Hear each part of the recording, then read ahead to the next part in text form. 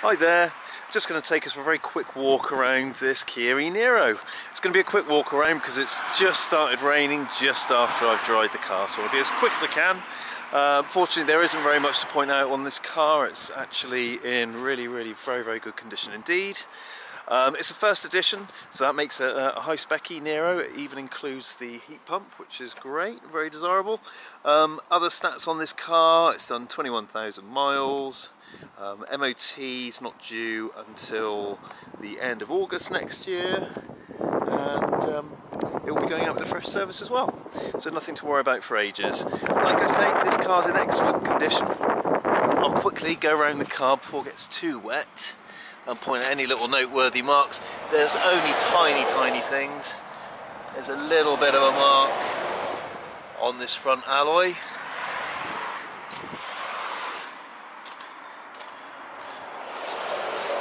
All the side of the car's perfect. This alloy also fine. There's a couple of tiny little chip marks on the rear bumper. whether you can see those amongst the raindrops. But they're, they're just little drop, little um, little chip marks. Not really very uh, noticeable at all. This alloy is okay.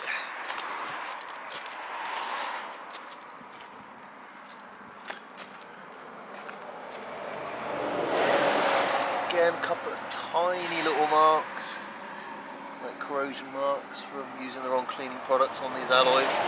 On that front one there, again, not something you would notice.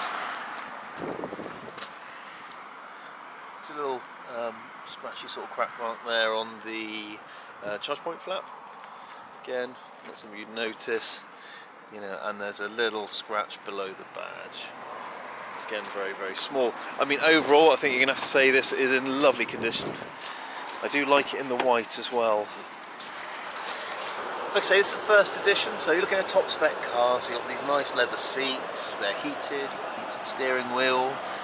Got a variety of drive modes. You've got electronic handbrake with auto hold.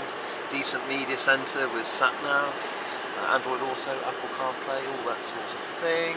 JBL sound system. Digital dash, dash display, multiple regen settings.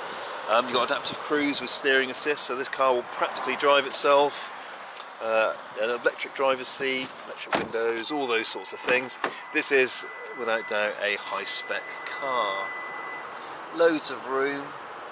Makes a great holiday car. It's what I always take whenever we're off on a holiday. Especially with those roof rails, I can put the roof box on there. Gives me loads of space. A couple of little scratch marks on the hard plastic on the back of this seat.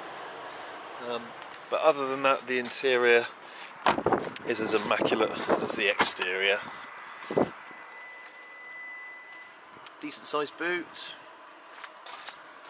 Extra storage underneath there as well. Uh, in that boot, of course, we will be putting a three-pin charging lead. So you'll have uh, this car with a lead that you can use to just charge it off any normal domestic main socket. So you don't necessarily even need to get a charge point installed, at least not to begin with anyway. You know, and there you have it. If you're looking for a really nice condition e-Niro, um, this is brilliant. If you're looking for a high spec one, all the better. Uh, equally, if you're looking for just a high range EV in general, this offers exceptional quality and value. Uh, and it's here on the forecourt, ready for a test drive or a viewing. Alternatively, we can deliver this car straight to your home. Um, thank you very much for watching. Be sure to check out our other e-Niro content on our website and YouTube channel. Hopefully you'll find that helpful. And then hopefully we'll speak to you soon.